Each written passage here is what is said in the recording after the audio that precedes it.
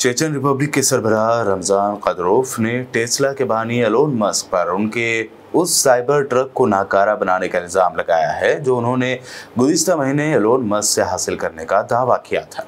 सत्रह साल से आहनी गिरफ्त से चेचनिया पर हुक्मरानी करने वाले रमज़ान कदरोफ ने अगस्त में एक वीडियो शेयर की थी, जिसमें वो इलेक्ट्रिक गाड़ी में घूमते हुए दिखाई दिए और उसकी छत पर मशीन गन लगी हुई दिखाई दे रही थी। कादरोफ ने दावा किया कि उन्हें यह गाड़ी एलोन मस्क से मिली। ताहम टेस्ला के मालिक ने अपने सोशल मीडिया प्लेटफॉर्म एक्स पर इसे झूठ करार दिया।